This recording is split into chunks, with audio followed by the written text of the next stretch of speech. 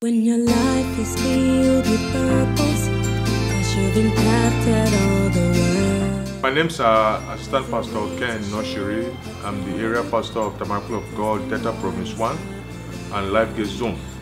I visited here two years back and I visited the Open Heaven International with my family and I laid hand upon the photograph of Daddy G.O. and I said, Lord, what you have made our daddy to do, let me be able to do it. And I went back to the church on our revival. I laid hand on a woman who was expecting child. And there were argument between doctor and the lady. They said she was having fibroid.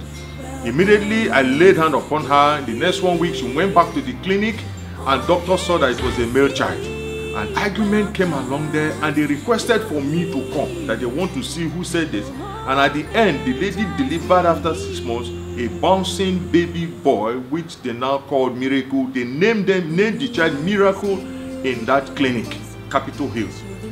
And that was the testimony. And the Lord has continued doing things. Is he a lady that I also laid down upon for the past eight years? She was not menstruating. After the prayers here, we did our faith clinic. I laid hand upon her. They brought her from, I think, from the Ijaw area, Bayelsa. I laid hand upon her. She's immediately she stained herself and started her menstruation. I'm got information now from the husband that the lady delivered twins, which is the first child they have for the past 35 years. Thank you very much.